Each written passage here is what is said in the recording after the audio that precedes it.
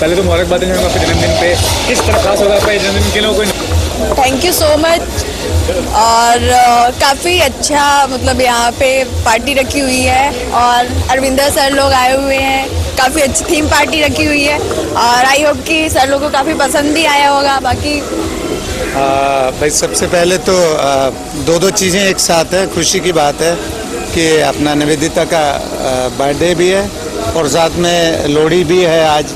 और मैं दोनों चीज़ों की बहुत बहुत मुबारकबाद देना चाहता हूँ। और जहाँ तक मैडम का निवेदिता का सवाल है कि बहुत ही शिवाई टैलेंटेड जिसको कह सकते हैं एक्ट्रेस हैं और मेरे साथ चार वीडियो कर चुकी हैं तो लोग एक के बाद रिपीट नहीं करते तो आप समझ सकते हैं कि चार वीडियो किए हैं तो उसमें काफ़ी टैलेंट है और बहुत कम समय में मैं कह सकता हूँ कि इन्होंने बहुत अच्छा काम किया इंडस्ट्री में। और बहुत कम समय में तरक्की की है। मेरी तरफ़ से इनको हार्दिक शुभकामनाएँ जन्मदिन की भी और इनकी लाइफ के आने वाले जो साल है बहुत बड़ी सुपरस्टार बन के निकले। ये मेरी दिल से दुआ है और, मुझे उम्मीद है कि इस इसमें ये बिल्कुल कामयाब होंगी। नया साल संक्रांति भी है और लोहड़ी भी है। क्या कहना चाहेंगे? कल संक्रांति आने वाली है लोहड़ी या मकर संक्रांति भी अ, उसकी भी बहुत बहुत मुबारकबाद। लोहड़ी है इनका बर्थडे है मतलब सब चीज़ें एक साथ हो रही हैं तो मैं बहुत खुश हूँ। मेरा डे ही ऐसा है थर्टीन जैन जिसमें सारी चीज़ें इकट्ठा हो जाती हैं। और सर लोग भी आज सर का भी स्पेशल डे है मेरा भी स्पेशल डे है दोनों मिला के काफ़ी अच्छी चीज़ें हो गई हैं। और प्रोफेशनल लाइफ में क्या चल रहा है? कहाँ एंगेज हैं आप? इस साल क्या मतलब नज़र आएँगे? किसमें नज़र आएँगे? कौन सी फ़िल्में किसकी फ़र्स्ट तो मैं सर के वीडियो पे नज़र आऊँगी बहुत जल्द। और बाकी मैं भी दो मूवियाँ कर रही हूँ जो कि बहुत जल्द रिलीज़ हो रही है। और बाकी 2017 आई होप कि मेरे लिए अच्छा हो।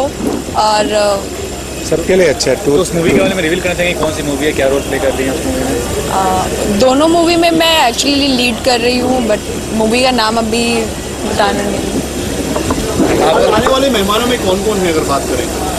आने वाले आने वाले मेहमानों में एक तो आपके सामने है और सेकंड फैज सर मैं हूँ। स्पेशल इनका मेहमान। हाँ ये स्पेशल है। आप आपको कितना परेशान किया काम करने में जब आपके साथ? नहीं नहीं बिल्कुल परेशान बिल्कुल नहीं किया नहीं तो मैं एक वीडियो पूरा ही नहीं करता था मैं आधे में इनको निकाल देता था।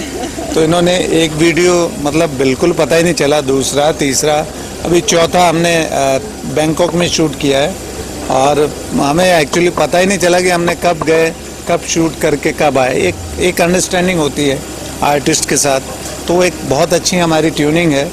और बहुत कम लोग होते हैं कि इंडस्ट्री में भी ऐसा होता है, लोग एक फ़िल्म करते हैं, फिर दूसरी, तीसरी।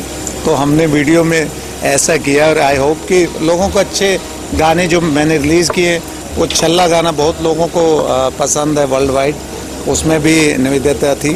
और अभी जो गाना किया पंजाबी उसमें अच्छा हमने तीन पंजाबी गाने किए। काफ़ी काफ़ी पसंद कर रहे हैं जो हम लोगों ने सॉन्ग किया है काफ़ी पसंद कर रहे हैं। और यहाँ भी इसके अलावा कनाडा में भी जो सॉन्ग है वो बहुत ज़्यादा पॉपुलर सबका फेवरेट है। हमारा पंजाबी क्योंकि आपको पता पंजाबी हिंदुस्तान की आजकल फ़र्स्ट लैंग्वेज हो गई है। हिंदी बाद में लोग को पंजाबी की कोशिश करते हैं। और म्यूज़िक जो है पंजाबी बहुत पॉपुलर है world wide even America Canada या जहाँ भी हमारे हिंदुस्तानी रहते हैं। चाहे जापान में हो इंडोनेशिया हो हम मैं कई जगह जाता हूँ परफॉर्मेंस करने तो वहाँ देखता हूँ डिस्क में पंजाबी गाने चल रहे होते हैं। तो ये बहुत ही प्राउड की बात है। आपका दारू का रिश्ता बहुत रहा है। क्या चक्कर क्या है ये? मैं वो दारू का रिश्ता इसलिए रहा क्योंकि मैं पीता नहीं था। तो ये मैंने कहा पीते नहीं है। तो मैंने सोचा कि गा गा के दूसरों को पिलाते बस हाँ वो मतलब गाने से ही मैंने अपने दारू का जो नशा है वो उसमें मैंने उसको पूरा किया। तो ये रिश्ता ऐसा रहा कि क्योंकि एक गाना अच्छा हिट हुआ पानी शराब में फिर दूसरा चला तीसरा तो वो लोगों को वो डिमांड बढ़ती गई और मैं दारू से जुड़ता गया। लेकिन अभी तो कुछ और ही वायरल हो रहा है आपका वो टाइटल वायरल हो रहा है काफ़ी फौजी के वीडियो के साथ में आपका कुछ एक अलग से चला दारू का। क्या है वो अभी? हाँ नहीं अभी जो मैंने लेटेस्ट गाना किया वो है ब्लैक मनी पे। वो काला धन पे। वो? शराब जो ना पिए उसको, उसको सजा दी जाए। क्या है वो? एक गुनगुनाएँगे। हाँ, वो ऐसा गाना था हम्म, खास कानून से ये रस्म बना दी जाए। खास कानून से ये रस्म बना दी जाए। शराब जो ना पिए उसको सजा दी जाए।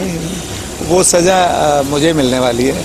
क्योंकि ये ड्रिंक नहीं करते एक्चुअली ये ना तो ड्रिंक करते ना नॉन वेज खाते बाकी सिर्फ़ गाने गा गा के दूसरों को पिलाते हैं। कहने को सरदार है। कहने को चलता नहीं मैं सरदार नहीं मैं असरदार हूँ। थैंक यू में में?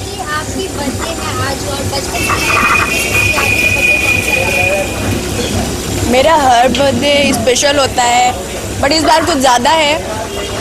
और सर आप तो नहीं, आपसे पूछा, मुझे तो- से ये मेरे बर्थडे पे है और हमेशा आते हैं तो नहीं स- नहीं वो उनका मतलब यही स्पेशल इसलिए है क्योंकि इस साल इनका बहुत कुछ बहुत कुछ काम आने वाला है। तो डेफिनेटली जब आदमी का कुछ अच्छे काम होते हैं लाइफ में तो उसका वो चीज़ें वो साल स्पेशल हो जाता है।